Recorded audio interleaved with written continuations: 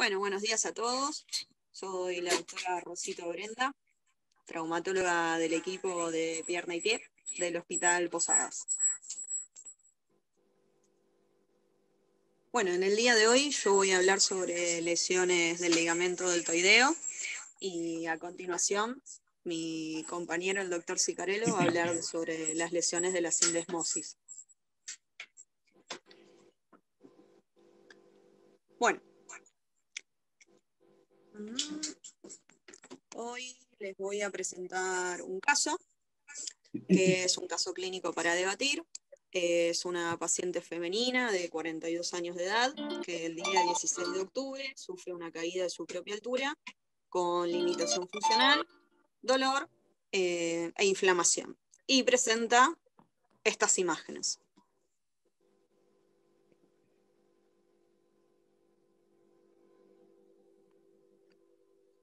Podemos decir que en la radiografía de frente se evidencia una fractura transindesmal del peroné, una probable lesión de la sindesmosis y una sospecha de lesión del ligamento deltoideo por eh, la apertura del espacio claromedial.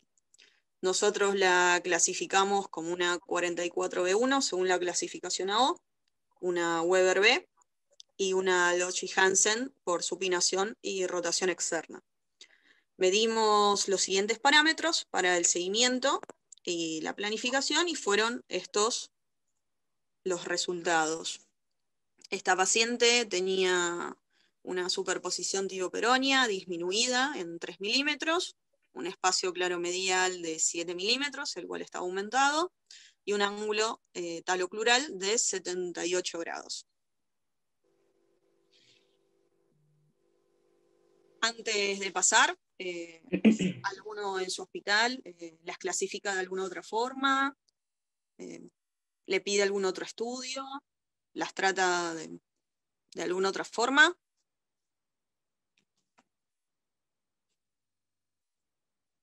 ¿Se escucha?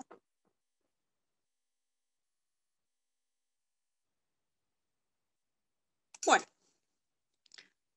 nosotros al sospechar esta lesión ligamentaria eh, del ligamento deltoideo, eh, nos pusimos a leer un poco del tema y bueno, tuvimos que, concluir que estas lesiones suelen ser en su gran mayoría traumáticas, muy pocas son por, por procesos degenerativos.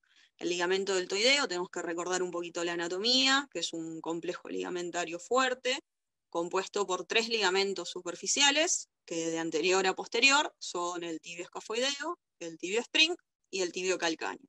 Y tiene un as profundo que sería el tibio astragalino. El mecanismo de lesión más frecuente es la eversión. Se lesiona con mayor frecuencia el ligamento tibio astragalino y con menor frecuencia el tibio escafoideo. A veces, si el daño es muy grave, puede llegar a cursar con una fractura avulsión en un 79% de los casos, y con lesiones asociadas como la de la sindesmosis.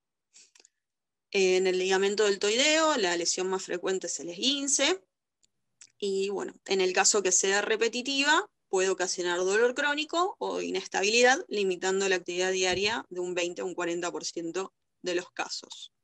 Las lesiones aisladas eh, del complejo medial son raras e infrecuentes, son menos del 5% de las, de las lesiones. El tratamiento de las lesiones mediales es muy controvertido, tanto para nosotros como para la literatura, ya que no hay un consenso sobre una indicación precisa. Hay dos tendencias, la conservadora, la cual se basa en la estabilidad y reducción satisfactoria de la sindesmosis, con la consecuente disminución del espacio claromedial. Y cuando esto se logra, no debería ser explorado el ligamento deltoideo.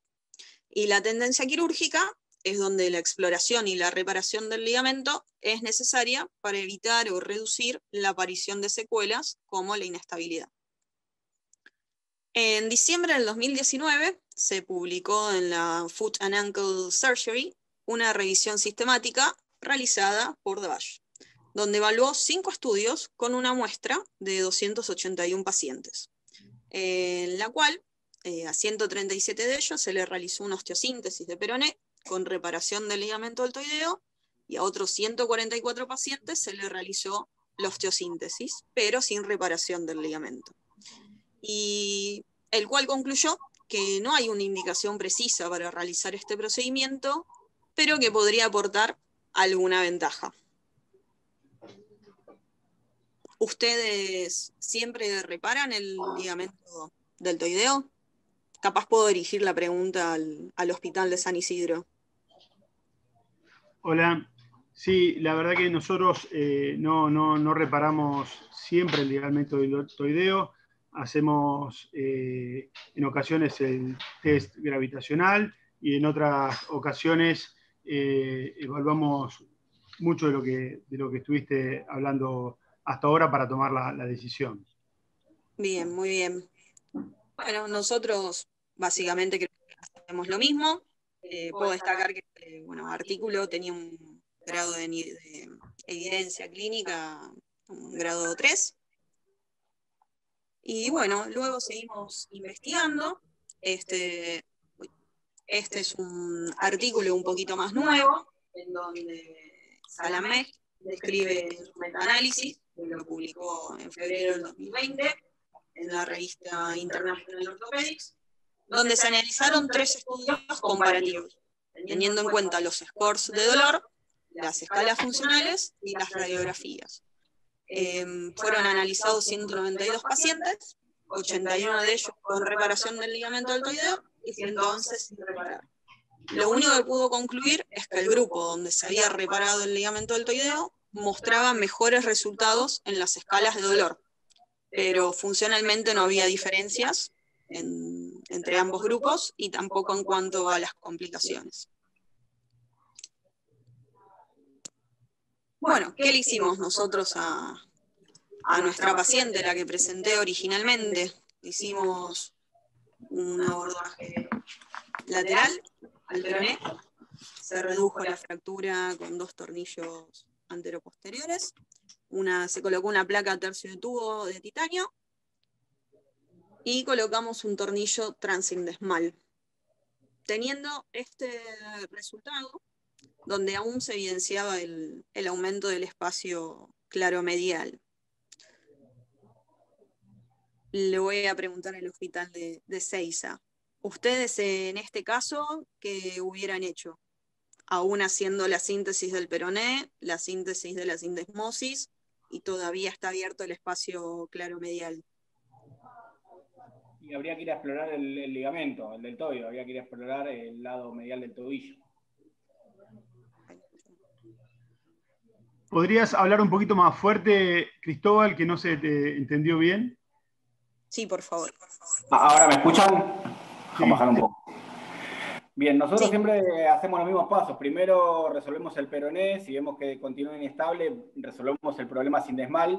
Y si vemos que sigue inestable, vamos, abordamos el lado, el lado interno del tobillo a ver por qué está inestable todavía. Bien, muy bien. Bueno, nosotros antes de abordar el, el espacio claromedial o el lado interno del tobillo, decidimos hacerle una artroscopía. Bien. Gracias al doctor Sicarello que nos ayudó, eh, la cual nos fue muy útil, porque en la artroscopía pudimos evidenciar que la síntesis de la sindesmosis no estaba totalmente reducida. Había un espacio en donde, bueno, si ustedes ven a, la derecha de la imagen hay un palpador y ese palpador podía introducirse perfectamente en ese espacio, el cual no debería ser así. Decidimos recolocar el tornillo transintesmal, logrando un cierre de ese espacio en donde el palpador ya no podía ingresar y al evaluar el espacio claromedial, que se evaluó con artroscopía, eh, quedó, reducido, quedó reducido, quedó disminuido y realmente no tenía eh, interpuesto el ligamento. Hicimos esta imagen y creo que quedamos conformes con, el resultado. Luego se midieron los valores que habíamos tomado al principio, como la superposición tibioperonia, la cual había aumentado, el espacio claromedial había disminuido y el ángulo talocrunal había vuelto a la normalidad. Bien, Brenda, perdón que te, interrumpa, muy bien. Eh, acá tuvimos problemas con el, con el chat y tuvimos problemas con el audio. Eh, muchos nos preguntan en el chat sobre este caso si no le hubiéramos solicitado una tomografía computada. Sé que lo preguntaste, pero teníamos problemas con el audio y yo no estaba habilitado. Eh, ¿Hubieras tomado una, hubieras pedido una tomografía o alguien hubiera pedido una tomografía para, para evaluar lesiones asociadas? Nosotros particularmente la tomografía la dejamos para casos no sé si la palabra es más complejo, pero sí que tengan conminución, un maleolo posterior em, o alguna lesión oculta. No creo que, haya estado de más. hoy viéndolo y comentando el caso, capaz la tomografía podría haber aportado algo más. Sí, a nosotros por ahí nos sirve la tomografía. Acá estoy justo al lado mío, está el doctor Eduardo Fraile. Eh, pedimos la tomografía no, no de manera rutinaria, pero Sí, eh, sí, cada vez más frecuente porque tomamos decisiones sobre eh, buscar lesiones asociadas como el fragmento de Bastafe o el tubérculo de Chaput, como que nos evalúen inestabilidad, ¿no? Exacto. Eh, bien. Decime, em, Carlos, vos le hubieras pedido, Carlos Varela, ¿le hubieras pedido una tomografía? ¿En tu hospital le hubieran pedido una tomografía? Sí, nosotros este tipo de lesión sí, nosotros solemos pedir tomografías. Sí. En el hospital contamos con tomógrafo, lo que no contamos es con artroscopía de tobillo. Yo iba a preguntar si no tenían artroscopio, si al no poseer artroscopio, artroscopio para el tobillo, eh, si hubieran optado otra conducta de reducir nuevamente la sindesmosis, o cómo hubieran solucionado el problema, porque si bien creo que puede ser un problema medial, puede ser un problema o falta de reducción de la, de la en un primer momento. Al no contar con artroscopio, ¿cómo lo resolverían? Yo creo que si no hubiéramos tenido el artroscopio, que es algo que empezamos a implementar hace muy poco, eh, hubiéramos hecho las maniobras intraoperatorias, eh, como cotton, maniobra del gancho, y si aún se, se abría, o capaz hubiéramos puesto un segundo tornillo o hubiéramos tomado la misma decisión de reposicionar el tornillo. Bien, una, justamente ahí veo que Brenda reposicionaron el tornillo. Eh, el tornillo super sin desmal, el tornillo trans sin desmal. Eh, veo que después lo, bajaron. ¿Qué, ¿Qué, es lo que están haciendo con ese tornillo? ¿Lo están poniendo super sin desmal? Lo más cercano a la articulación? ¿Cómo, ¿Qué es lo que hacen de rutina? Lo ideal sería eh, lo más cercano a la articulación para nosotros, pero más de una vez eh, depende mucho de la personalidad de la fractura. Por más que uno lo quiera poner en donde le parece mejor, a veces no es posible por la fractura.